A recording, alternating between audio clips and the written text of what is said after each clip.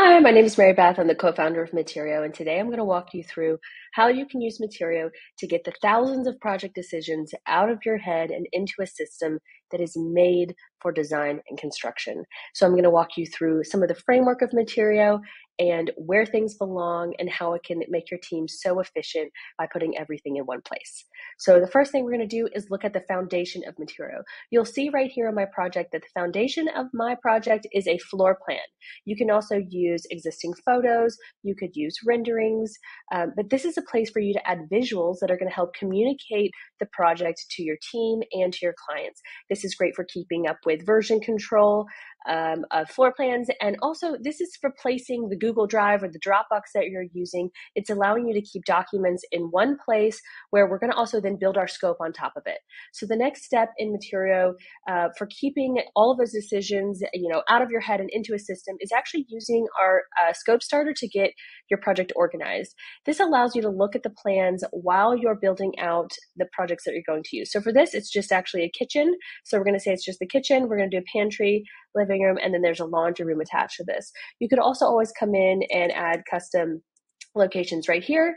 And then I'm going to go ahead and outline the types of work that are going to be on this project. I'm going to be offering design services, project management. Uh, for this, we're going to have demolition because it is a renovation.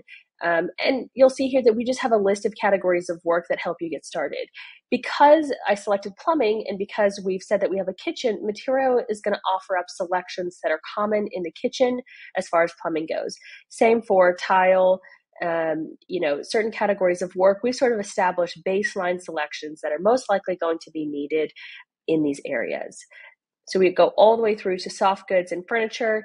Again, this is just going to help you get started.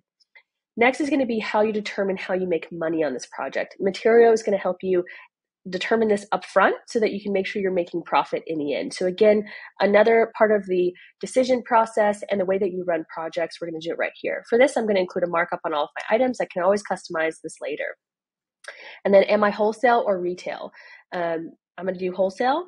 And then I'm also going to say, yes, I do collect tax. I'm going to do my tax rate. So then I'm going to create my outline. And you'll see that almost immediately, I already have a great outline for the things that are going to be in this project.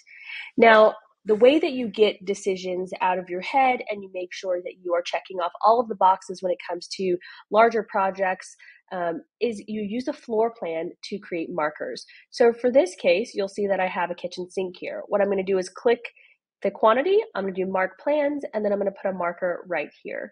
That is going to quantify the item for me, and then I'm going to put in my estimate. And here you'll see I can put in how much it's going to cost if I'm putting a markup, if I'd like to include um, cost for shipping this item, and if I'm marking it up or uh, putting tax on shipping, as well as labor and delivery. So this is going to give me a great way to quickly estimate, hey, what is this kitchen sink going to cost?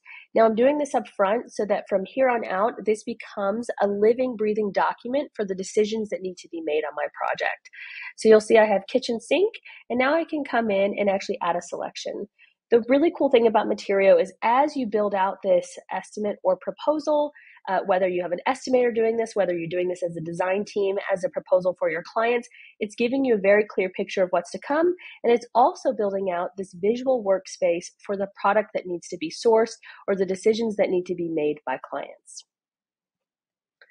So now you'll see that I have a kitchen sink here with a shopping uh, price of $15.50 and I can go in and I can pull items from my library or I could pull in items uh, from the product clipper.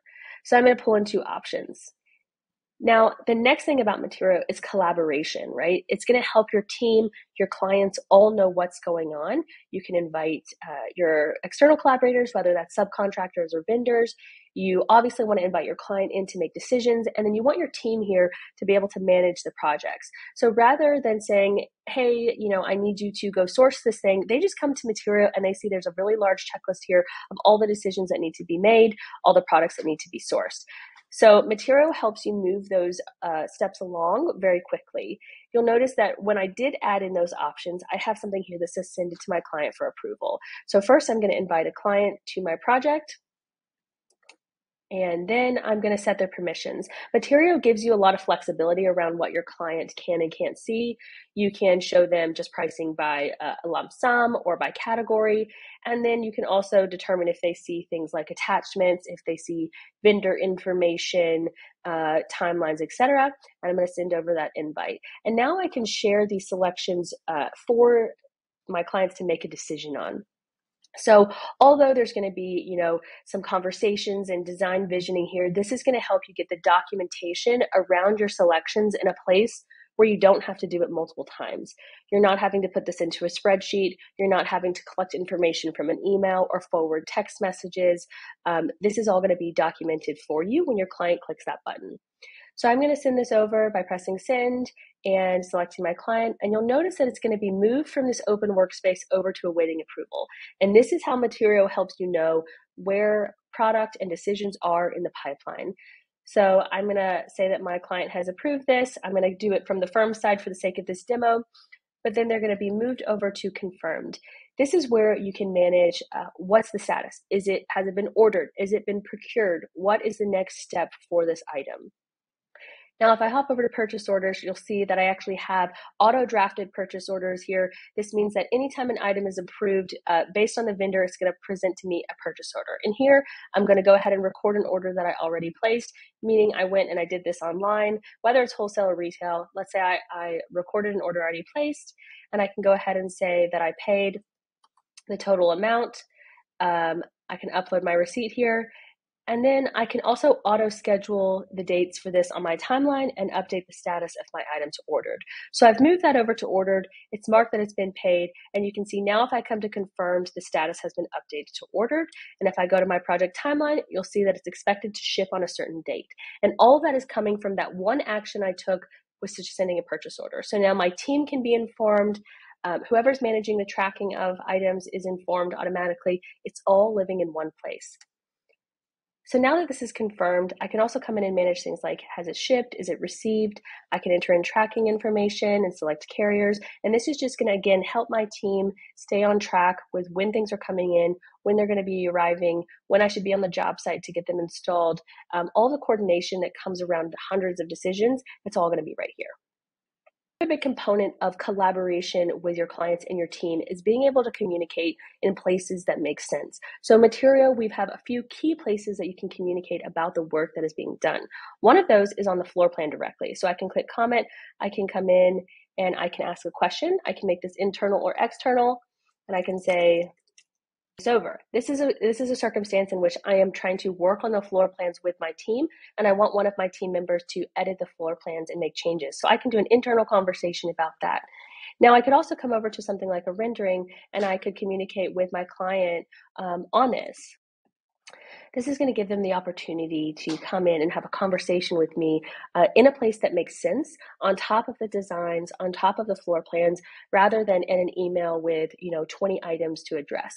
So this is a really handy tool for communicating directly about what needs to be uh, communicated. The other thing they can do is come in and you can communicate directly on an item. So when you first present the scope of work to a client or when your team is reviewing it, there may be questions that you have about uh, why did you do it this way? How did you break it down? This gives you the ability to have conversations directly on the items, um, and that can be really helpful. All of the, the information is here because all of your project decisions are here, your numbers are here. Um, it's going to be a great tool for knowing your numbers. You can track your hours in Materio, you can bill for them, and then you can see where you're at with specific items. How much have I collected? Um, how much is outstanding? And where does my profit lie with that item? One of the really great things about um, billing and Materio is that we make invoices incredibly defensible and super easy to send.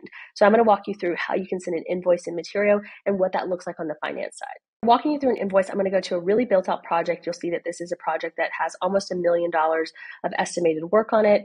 Uh, again, you'll just see on a more complex project how you can come in and see very specific decisions that have been made or are being made. Um, when it comes to invoicing, though, I'm going to hop over to the invoicing panel, and here I'm going to create items. Again, I can collect a retainer if I'm a design team and I want to do that up front. But the really cool thing about Materio is I can come in and select project scope. Um, so if I wanted to bill for a percentage of a project, I could do that. And then I could select uh, a deposit. So let's say I only want to collect 35% of the deposit for the work on the project at the beginning. I can add that to an invoice and I can go ahead and send that over. So you'll see I easily have a deposit invoice drafted that is super clear for my clients. Now I can move this over to QuickBooks and collect payment via QuickBooks, or I can send it via Materio and um, manage all of the payments here. All of this is going to sync over to QuickBooks if you have your QuickBooks Online account connected. Um, so that's really handy for making sure that all of your finances are not only in your project management system, but being tracked over for your accountant. Now you'll also notice that as I start to accumulate expenses on this project, I have purchase orders, um, timesheets that are tracked by my team, and any other additional expenses that I've decided to add. This gives me the ability to, again, not have to enter the information in multiple systems. My team knows that it's going to be here. Uh, they track their time here. I bill for their time here. Purchase orders flow through the system. So everything is extremely connected. So let's say I want to uh, talk about how I can collaborate with a team. Let's say I want to export the electrical selections to give it to the electrician so that I can uh, communicate to them what is going to happen on this job site, what they should be looking for, the locations, etc.